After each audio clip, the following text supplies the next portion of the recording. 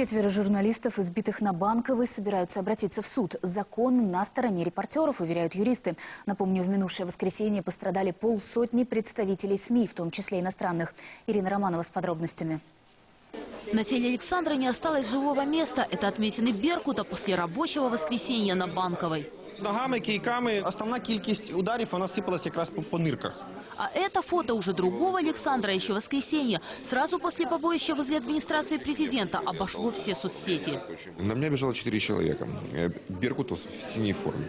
Э, Я остановился, говорю, я пресса, как бы, они, ах ты пресса, и начинали бить дубинами. Александр собирается обращаться в суд.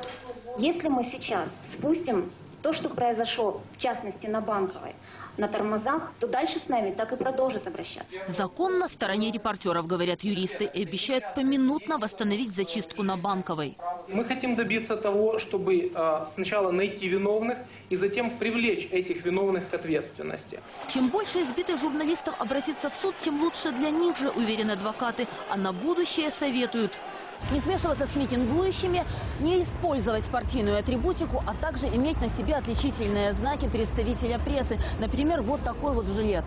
Общественные медиаорганизации уже начали бесплатно снабжать ими СМИ.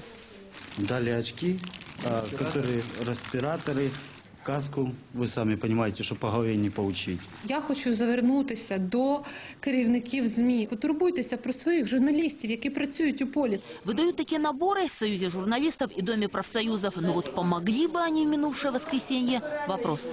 те, що вони почали бити журналістів, це була команда.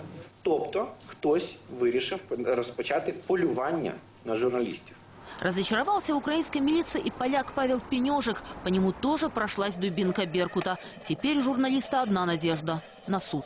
Ирина Романова, Владимир Самченко. Подробности. Телеканал «Интер».